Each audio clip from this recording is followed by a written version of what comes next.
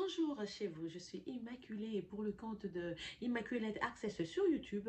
Et c'est votre première fois de me découvrir, faites-vous abonner sur ma chaîne YouTube Immaculate Access. Il a en sigle IL et en anglais. En le faisant, n'oubliez pas de cliquer sur la sonnette qui est à droite de l'écran pour des notifications et recevez vos grâces et vos bénédictions matinales de ma part et de la part de notre Seigneur Jésus-Christ. Aujourd'hui, je suis devant vous pour vous parler une autre histoire qui m'a été rencontrée par euh, la personne qui a vécu ça elle-même. La dame est une amie et je lui ai demandé l'autorisation. Donc, elle m'a elle m'a euh, accordé, elle m'a dit que je pouvais donc partager avec vous. Je vous dis que quand tu connais des choses, quand la vie en soi est seulement pleine d'expériences, ce que les autres ont vécu, si tu écoutes, tu vas appliquer ça dans ta vie. Tu essaieras d'être plus prudente et d'éviter certaines erreurs, certaines choses. Donc, il n'y a pas de mal à partager ce que tu as appris. En moins que ça va suyer sa réputation, tu vas nuire son image. Là, on se tait, on garde, comme je dis, quand on reçoit des prophéties, on a le droit de dire, de partager ou non. Si tu sais que c'est pour vexer, je vous dis que Dieu ne voudra pas que tu puisses vexer son enfant. Il y a des prophéties que nous recevons, que nous désirons carrément garder ou bien tu rencontres, tu vas raconter ça à la personne en privé, tu le contactes inbox ou bien tu attends l'opportunité quand vous serez ensemble, tu lui dis que venir sur les réseaux sociaux et divulguer cela juste pour l'embarrasser. Non, moi je ne fais pas ça. Voilà, on démarre pour l'histoire d'aujourd'hui il s'agissait d'un homme qui est originaire d'Angola, euh, qui émergeait dans la diplomatie. Sérieusement, il a fini, il a étudié aux États-Unis, il avait étudié à Londres, il a vraiment émergé et voilà, il se voyait aller de promotion en promotion, c'était la bonne vie. Du coup, vous savez, les diplomates, c'est pas des gens qui restent, ils sont tout le temps partis. La femme s'est lassée, elle dit, ah, ça c'est quel genre de mariage, le mari tout le temps parti, je sais même pas avec qui il passe son temps et tout et tout. Pouf, la femme divorce, ils ont eu deux enfants, dont euh, un garçon et une fille et un garçon. Donc, quand la maman est partie, elle a fait le choix de partir avec le garçon de deux ans et laisser sa fille de 4 ans avec son mari. Le mari se retrouvait comme ça avec une fille de 4 ans. Étant quelqu'un qui voyageait beaucoup, ne sait ce qu'il devait faire, il avait déjà une de ses maîtresses qui commençait à a aimé plus. Du coup, il lui a, elle, euh, il lui a demandé donc de venir s'installer chez lui. Comme ça, il va l'aider à élever cet enfant. Donc, la femme est allée. C'est vrai qu'il a aidé le monsieur à élever sa fille de 4 ans à 12 ans et il n'avait pas fait de bébé elle-même en ce moment-là parce qu'elle devait s'occuper de la fille d'abord qui souffrait parce que ne plus voir sa maman, elle avait 4 ans, elle comprenait même pas, elle ne sait pas ce qui s'est passé. Peut-être que la maman est morte, on l'a enterrée, peut-être que je n'étais pas sa fille, pourquoi elle devait partir avec mon petit frère, qu'est-ce qui est arrivé à mon petit frère? Elle était trop jeune, elle savait pas se poser trop de questions. Mais la maman là qui est venue, elle lui a aussi montré de l'amour et elle, elle a carrément accepté que c'était sa maman. Elle appelle même maman jusqu'aujourd'hui, donc maman, maman, maman. Elle a eu 12 ans un matin, elle s'est apprêtée, elle a pris son sac pour l'école. Quand elle sort de sa chambre sur le couloir, là, en partant à l'école, elle a fait tomber le son. Donc, c'est ce jour-là qu'elle venait de voir ses menstrues, donc euh, ses règles, comme on le dit. Et, ça, ça salit donc euh, le couloir de la maison. Le papa n'était pas là, il était à Londres en mission de service. La maman était à la maison. Elle a vu sur les carreaux des taches du sang. Elle savait que c'était donc sa fille qui venait d'avoir des règles. Elle a dit à la fille, quand elle arrive au salon, va à l'école, moi, je m'occupais de ça. Elle a donc essuyé tout ce son-là. Et puis, quand la fille est revenue, elle lui a dit, non, voilà, 12 ans, c'est ceci, ceci, ceci, cela qui devait arriver et tout. La fille a commencé à porter donc des bandes hygiéniques. Et euh, la maman, chaque fois qu'elle voyait la fille, elle rigolait. Chaque fois qu'elle voit la fille, elle rigole. Quand on lui dit, viens nettoyer les assiettes, la fille dit, je viens. Ils avaient beaucoup de travailleurs à la maison, mais la maman appelait toujours cette fille-là pour faire des trucs ménagers, des travaux ménagers. La fille venait, elle dit, ah, je fais un devoir, puis je viens. Alors, à partir de là, elle courait. Je vous dis qu'elle a fait de, de son acte d'essuyer le sang de menstrues de la fille, elle a fait de ça l'hymne de sa vie.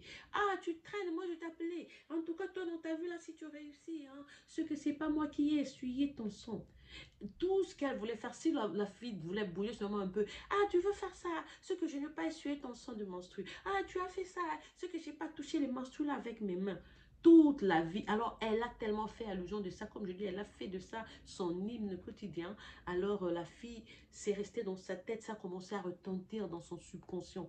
Tout le temps, elle écoutait la voix de la fille qui disait, si j'avais pas essuyé tes, tes si mes doigts n'ont pas touché son sang, ton sang, toute sa vie, c'était comme ça. Et ah, quand, juste quand elle a eu 12 ans vers la fin, la femme aussi est tombée enceinte. Donc, elle a fait sa première fille qui est sortie. Vraiment, la femme est une métisse. La fille est sortie exactement comme sa maman. Elle a eu le deuxième enfant. La deuxième qui est donc une autre fille, mais elle est sortie vraiment de teint noir comme son papa. Du coup, c'est qu'il a le, ton, le teint noir comme son papa et ressemble plus à la fille de son papa, la demi-sœur, celle qui avait donc euh, fait tomber les, menstrues. Et la maman a commencé à détester sa propre fille qui était sortie de son, de, de, son, de, son ventre. Donc, euh, la fille aînée devient amie à la cadette. Celle du milieu s'est fait copine à sa maman. C'était l'injustice dans la maison parce que la maman, elle a vraiment pris la charge de la famille. Elle est devenue l'homme de la famille. Elle a développé ses... Euh, comment je dis, son énergie masculine dans la maison. Comme le monsieur, c'était juste un intellectuel, un diplomate, c'était la mission. Elle était au téléphone avec le président, c'était prendre des ordres et tout et tout. Il allait exécuter, il retournait avec des rapports. Il n'avait pas le temps, il assurait l'argent 100% pour le reste de la vie. Donc la maman, c'était les cheveux, c'était les cabellos. Elle prend l'avion pour aller au Brésil acheter des fauteuils 8 inches de cabellos. À l'époque, là, les gens ne connaissaient même pas encore les synthétiques. Donc elle était déjà dans cette histoire-là des bijoux, des diamants, vraiment, c'était la vie de luxe, tout ce qu'elle gagnait, elle ne donnait pas à la fille, à la step-fille. Quand elle s'occupait d'elle-même et de ses enfants, c'était autre. Mais la fille, là, elle a eu du mal à avoir même une nouvelle robe pour aller amener à l'église ou quoi que ce soit. Mais elle a continué à l'appeler maman, maman, maman.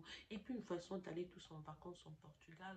La fille dit à son papa, en tout cas, ta prochaine mission, partout on ira, je vais préférer rester là-bas. J'essaie d'étudier. La maman l'a envoyé ses deux filles à l'école. La demi-fille, oh, il n'y a pas de frais pour toi. Et puis ta maman devait dire quelque chose. La fille qui ne connaissait même pas sa maman, sa maman avait quitté... Euh, je sais pas, elle avait quitté loin, elle est allée vivre dans un autre village là. Elle avait même plus revu, plus jamais revu sa maman. C'est toi qui es devenu sa maman. Mais pourquoi tu traites ta pauvre fille comme ça? Donc, tout le temps, comme j'ai dit, cette chanson-là, cette hymne est restée dans l'intérieur de l'enfant qui sentait toujours la voix de la marâtre et dire Si j'ai pas essuyé ton sang, je suis pas. Partout, elle allait, tout ce qu'elle a essayé dans la vie n'a pas marché. Elle a fait le Portugal, elle a fait Londres, elle a fait le Brésil et d'autres pays. Elle est arrivée sur les États-Unis. Elle est tombée, elle, dans, dans l'ordre d'une conférence des Nations Unies, son papa était venu, elle et son papa, non, voilà, je suis adulte maintenant, je reste ici pour tenter mes chances parce que j'ai pas eu la chance de, de faire l'université.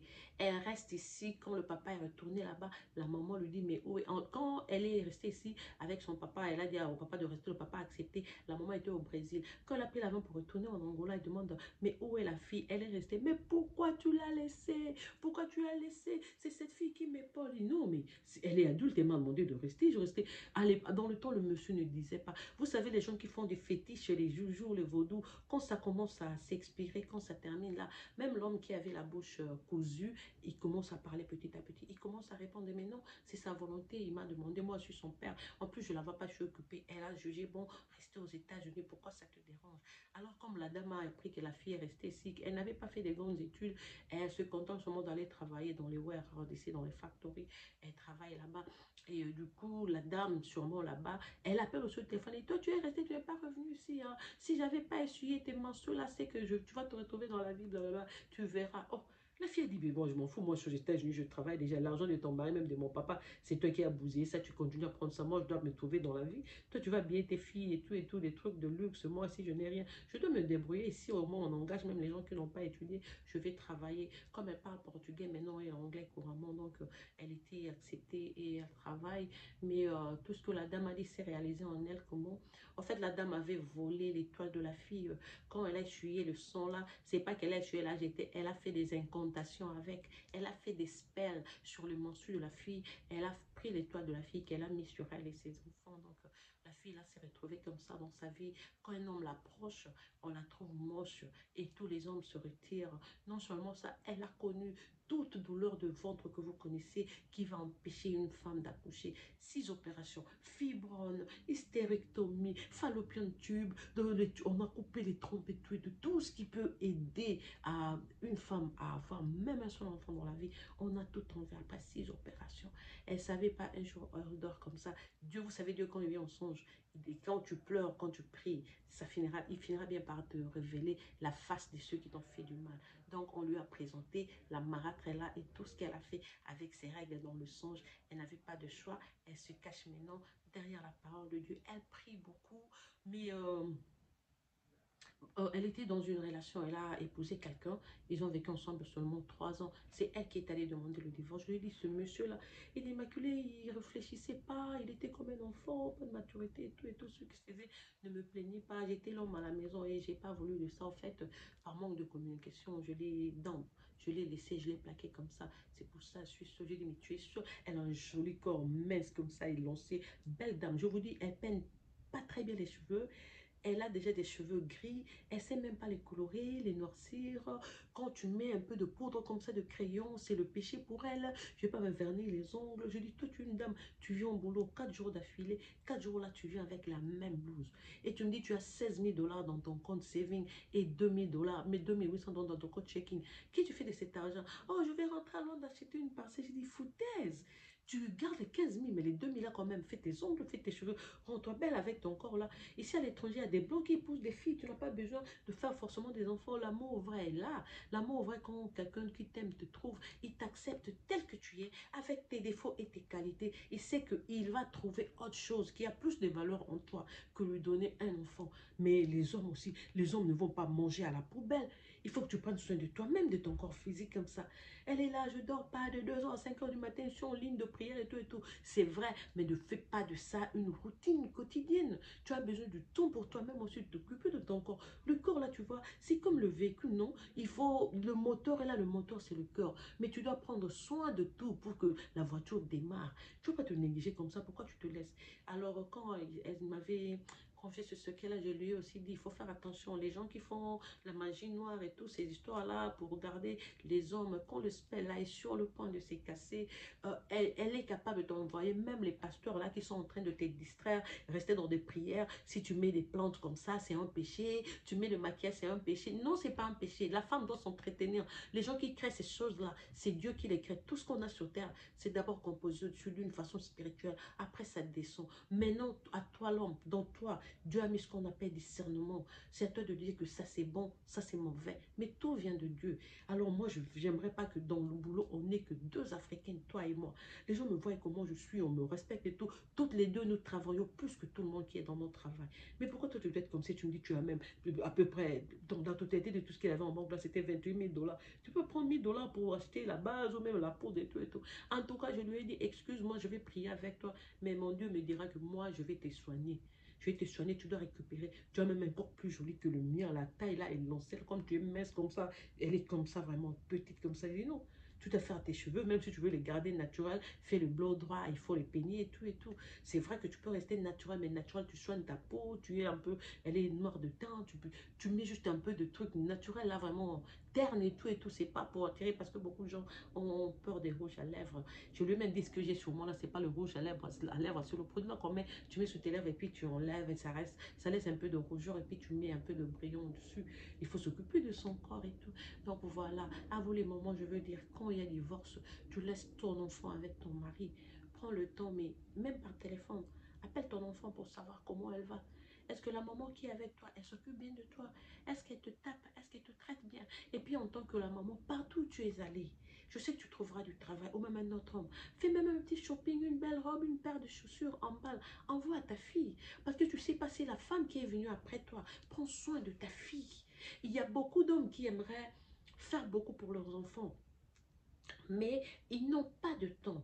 C'est pour cela dans la on dit non, un homme doit épouser une femme plus responsable plutôt parce que la femme c'est comme l'octopus, elle peut faire autant de, de, choses à la fois. Mais la personne qui parle, l'homme fait confiance en, sa femme. Et il se dit, non, j'ai épousé cette femme, il va sûrement m'aider à élever. Mais la femme, là, n'avait pas élevé cette fille-là. Elle a fait d'elle la bonne de la maison. En fait, elle avait même chassé quelques travailleurs pour que la fille la puisse euh, remplir leurs tâches dans la maison de ton propre papa.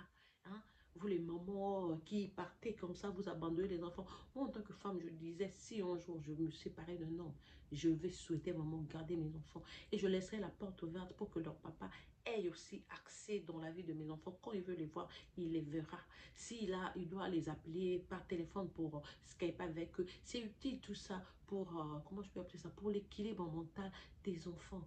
Il y a beaucoup de femmes qui ont des mauvais cœurs sans raison aucune, sans raison propre.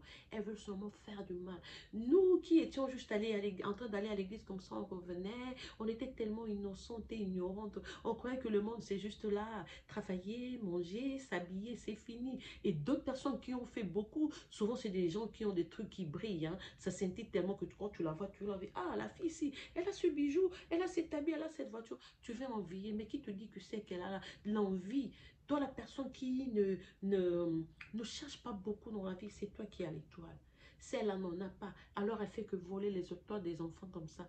Tu viens dans le mariage, tu trouves l'homme déjà avec des enfants qu'il a eu dans le previous relationship avec une autre femme. L'homme a déjà fait des enfants. Toi, lieu de t'occuper de ton homme, toi-même, tu es là à te prostituer, à faire d'autres des, euh, d'autres vies, euh, d'autres vies avec d'autres hommes. Mais tout le temps, tu t'es démené pour essayer seulement d'éliminer les enfants que tu as trouvés dans la relation de ton mari avec sa femme précédente. Les enfants que ton mari a eus seront des demi-frères ou demi-sœurs à tes enfants. Donc tu dois les considérer comme tes propres enfants. Pourquoi tu vas faire mal à une fille que tu as élevée de 4 ans à 12 ans? Tu as volé son étoile, juste ne pas faire l'enfant. Je connais une autre fille, celle-là, c'est exactement le même cas. Mais l'autre fille, là, je vous raconterai son histoire après. Euh, demain, je vais faire... Non, pas demain lundi peut-être parce que moi demain le boulot commence, hein. moi je travaille vendredi, samedi, dimanche et tout, donc euh, c'est cela, mais prochainement, peut-être lundi, c'est là aussi, euh, la faute était au papa qui a amené une copine donc dans le lit conjugal et la copine a laissé la magie noire là et le juste le truc qu'ils font, ça a attrapé donc la femme qui était à la maison, la femme du monsieur et leur fille. Et la suite, c'est qu'ils avaient divorcé. La femme est partie elle-même. D'abord, la femme, avant de partir, elle s'est mise à saigner pendant trois ans. Les règles se sont stoppé seulement en sa descente de l'avion quand elle a, elle, a, elle a foulé le sol de l'aéroport de Njili. Les règles ont coupé. Elle a eu peur elle-même. Elle s'est jetée dans la prière de maman Langui. Jusqu'aujourd'hui, elle n'a plus tourné le dos pour retourner dans sa maison avec son mari. Donc, il y a beaucoup de choses qui se passent en Afrique. Les femmes, d'ailleurs, partout dans le monde. Vous savez pourquoi il y a tout le temps de, de, de, tremblements de terre en Haïti et tout. Aux États-Unis, on sait que c'est une terre qui a été euh, cursed par Dieu, parce que les grands les gens, les gens qui font le vaudou, les marabouts et tout, et tout, ils sont installés là-bas. C'est des gens qui sont incrédules, qui ne croient pas en Jésus, qui ne croient pas en la parole. Alors, vous allez voir que périodiquement, il y a toujours des histoires qui arrivent aux Haïtiens, à leur terre et tout, et tout. Il faut faire attention, je vous dis que la façon dont l'œil de Dieu contrôle ce monde, vous n'avez aucune idée. Et si vous avez des problèmes dans la vie, de quelque sorte que ce soit, en tout cas, ayez toujours la volonté de courir derrière Jésus. Et Jésus, tu n'as même pas à te confier auprès du pasteur ou d'autres personnes, même si c'est bon de partager, même la Bible dit que tu peux te confier au, je crois que c'est dans, dans Jean que j'ai lu ça. Je crois que dans Jean, on dit que si tu as un problème, tu peux te confier aux aînés, tu peux te confier à tous ces gens, le clergé, tout et tout. Ouais, tu peux. Mais avec le, le monde d'aujourd'hui, on sait que quand on se confie, beaucoup de gens ne gardent pas nos secrets. Et facilement, ils vont les divulguer. Alors, toi, en tant que message que tu es directement connecté à Dieu, tes problèmes qui te concernent vraiment dans ton fort intérieur, adresse-toi directement à Jésus. Je te dis qu'adresse-toi. Si tu as la foi, if you believe, tu auras aussi la réponse. Et Jésus change la vie. Ok? Aujourd'hui, je suis tombée sur une vidéo d'une dame là, euh, de, je crois qu'elle est camerounaise ou de Côte d'Ivoire. Elle fait le coach sur le social media. La façon dont elle a parlé de son mari, par son langage, quand j'ai écouté, j'ai dit, elle est karmique. Ça, c'est une femme qui est en train de travailler avec l'esprit de Jézabel. Une femme qui aime son homme, ne le chosifie pas. Pourquoi tu vas venir sur les réseaux sociaux parler de ton mari, faisons allusion à lui comme si c'était un truc comme si ton mari était juste un bidule, comment on dit bidule, un bidule, c'était juste un truc comme ça aux yeux des gens. Tu embarrasses celui que tu appelles ton mari, tu embarrasses les gens qui t'écoutent, et tu t'appelles coach, tu es le rôle modèle pour beaucoup de jeunes filles qui te suivent. Vous qui allez vous faire abonner sur des chaînes, des gens que vous ne connaissez pas, les meilleurs coachs de la vie, dans la vie, c'est ta maman, si ta maman est morte, ce sont tes tantes, voilà, ce sont peut-être les gens de l'église un peu. Aujourd'hui aussi avec les scandales qui se passent avec des pasteurs et tout et tout. En fait, quand tu vas à l'église, à l'église catholique, on a toujours dit, ne regarde pas nos péchés, mais la foi en ton église. Ne juge pas ton pasteur, mais quand toi tu vas là-bas, quand tu t'adresses à Dieu, tes problèmes, c'est seulement Dieu qui sait. Quand tu ouvres la bouche, tu t'adresses au pasteur. Il y a des histoires que tu caches dans ton cœur, mais Dieu est au courant de tout ça. Il faut faire attention dans la vie. Allez vous faire abonner sur des gens qui font. D'abord, une personne qui s'appelle coach qui ouvre sa bouche pour insulter une autre femme ou pour... Le langage doit Une bouche qui prie, une bouche qui parle de Dieu, il faut faire attention. Tu écouteras quand la parole sort. Tu écouteras de tu sauras. Dieu t'aidera à dire que non, ce qui sort de l'Immaculée, c'est mon inspiration. Il faut écouter celle-ci. Mais vous savez, là sur Terre, hein, les gens qui font la magie et tout et tout, ils roulent, hein, ils sont vite là, parce que c'est des menteuses elles veulent voler, voler, voler, accumuler des trucs. Ils savent que demain, ils ne seront pas là, ils vont aller. Même les hommes qu'on a gardés dans la magie, dans des beautés tout et tout, s'ils sont de Dieu, parce que Dieu t'a déjà choisi à ta naissance, il de produits là, des sacrifices et tout et tout, ça expire. Un jour, le monsieur là, donc, petit poisson deviendra grand pourvu que Dieu lui prête vie. Ils finissent par voler, ils vont s'en aller. Ces filles-là finissent par courir parce qu'elles ont honte et tout. Mais le masque finit toujours par tomber. Donc, il faut faire attention. Il faut faire attention. Il faut dire ça à vos soeurs.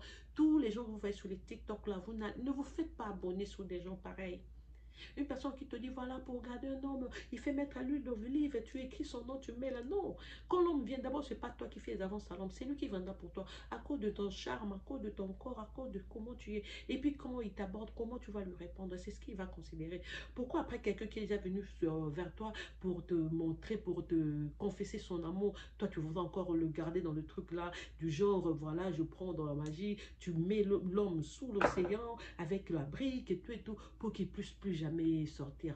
Ça vaut pas la peine. En tout cas, il faut faire attention. Le siècle d'aujourd'hui, il faut ouvrir les yeux. Vous allez voir que cette année, c'est 2022. Ça te fait de, de, de, beaucoup de gens qui se montrent, qui se font passer pour des coachs et tout et tout. Elles vont tomber. Ils vont tomber. Et ils tomberont votre présence.